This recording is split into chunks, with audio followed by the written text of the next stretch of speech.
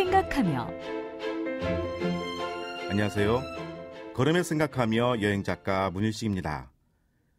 차가운 바람이 옷깃을 여미게 하는 겨울.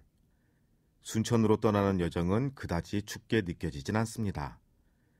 순천만과 순천만 정원, 서남사와 나간읍성 등 굵직한 여행 명소로 가득한 순천.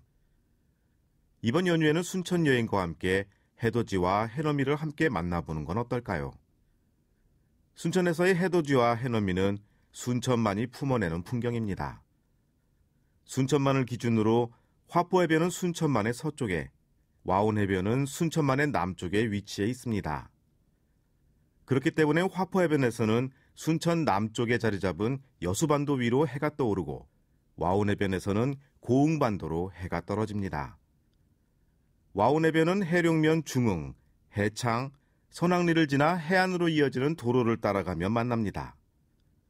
해안을 따라 한 굽이 돌아서는 작은 산자락은 와온을 이름짓게 한 일명 소코봉입니다. 와온은 소가 누워있는 형상이란 데서 유래했다고 전해집니다. 와온 해변은 물이 빠질 때 드넓은 갯벌이 펼쳐지는 풍경만으로도 충분히 아름답습니다. 해넘이는 와온 해변 어디서도 볼 수 있습니다.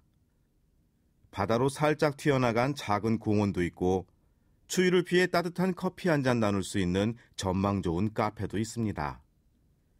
넓은 갯벌 한가운데 작은 섬 사기도가 있고 정면으로는 화포해변이 있는 봉화산도 지척입니다.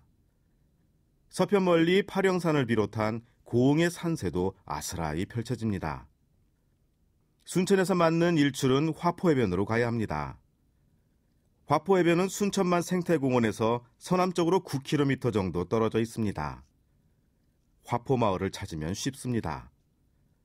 화포마을로 가는 길은 일출의 명소답게 도로명도 일출길입니다.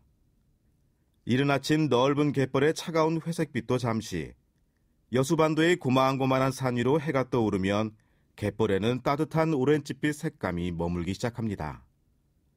일출은 화포 아래 해안길과 일출길 도로에서도 볼 수 있습니다.